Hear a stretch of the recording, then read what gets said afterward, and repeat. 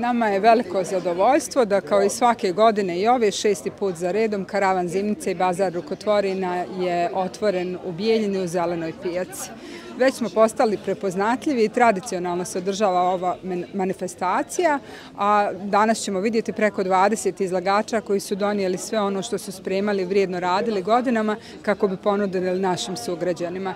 Danas je petak, pijačni dan, pijaca je zaista posjećena, a vi ćete se zaista i sami uvjeriti u kvalitet proizvoda koji nude. Između ostalog, znači, pored svježeg voća i povrća, zaista imamo lijepu ponudu i e, zimnice, tako da svako može da nađe nešto za sebe ovdje. Pa ja se bavim eh, ovom zimnicom, bavim se poljoprivredom i svačim. Imam, pravila sam šarenu salatu, krastavce, paradajzuše, E, ovaj crveni paradajz, fafarune, svega što god ima neka zimnica, ja to pravim. Sad kakve su ove vremenske prilike bile, Boga mi je poteško. Mada je, ovaj, smo velikim trudom radili, bilo je ovaj, suša, nešto je sunce ispeklo tamo vamo i zaljevali smo, ali sve u svemu dobro je, a Boga mi kad se kupuje ne imaš računa. Ali ja sam eto uspjela, imam svoje, sve sam, znači mrkvu i pešnu, sve sam uspjela odgojiti i pravim. Pa sve zavisi, mala je sad tegla, ona je bila i prošle godine pet maraka salate ili krastavčića, ili nije bitno šta je. I sad je dajem po pet maraka, ali Boga mi poteško. A 15 maraka je veća, ako bi koji naletio, mi bi dali po 12, ali je, ni nama je to sve skupo.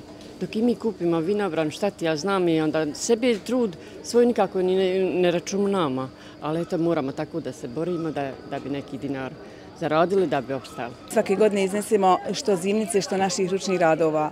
Um, zimnica se vraća ponovo na velika vrata domaće, ali onaj, s obzirom da je skupo sve, da su ove godine izuzetno skupe cijene, mi kažemo skupe, međutim to je um, za proizvođača min, minimalno koliko sve košta i, i rad na njivi i ovi preparati što se radi da, da bi se dostigo cilj. Um, tako da bi trebalo da se pravi ta zimnica, pa koliko ko može i kako ko može i naravno ne bi trebalo da se pocijenjuju i proizvodi domaći. Pa danas smo izložili ovaj hladnu cijeđenu aroniju i kupino vino. Znači sve je sa moje plantaže koju ja imam lično i koju ja lično održavam, e, beremo lično, znači sve što mi radimo porodično, znači to tako radimo.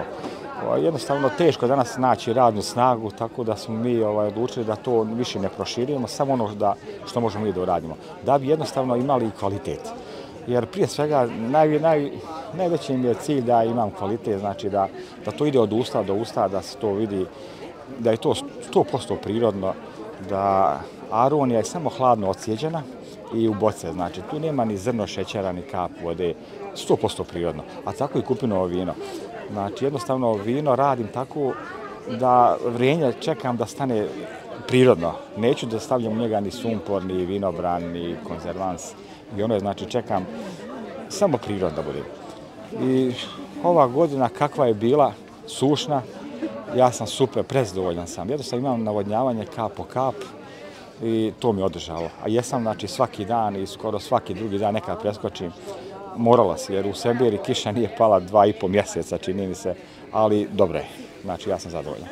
Tu imamo slatko od kupine, slatko od aronije, liker od kupine, liker od aronije, sve idemo isto prirodno, znači i tu nema nikakvih konzervana sa ovoga nečeg, znači sve je prirodno.